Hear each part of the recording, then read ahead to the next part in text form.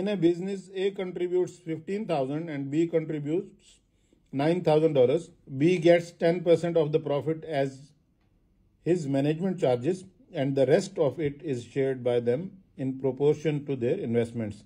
If the total profit is 4,000, the share of A is now 4,000 is the total profit and 10% of 4,000 that is 400 is given to B as the management charges. So 4000 minus 400 is 3600.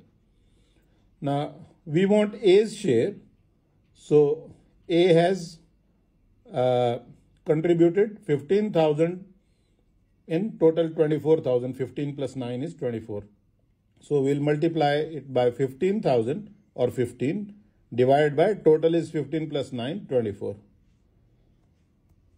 Now 12 times 2 is 24 and 12 times 3 is 36 and double 0 and we can do 2 times 150 is 300.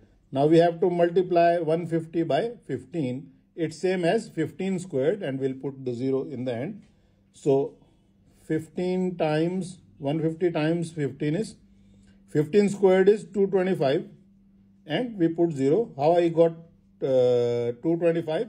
Any number I have told in many of my videos, any number that has 5 uh, in the last like 65 square of it is very easy. We just multiply this 6 by its next number 7. 6 times 7 is 42 and then we write 25.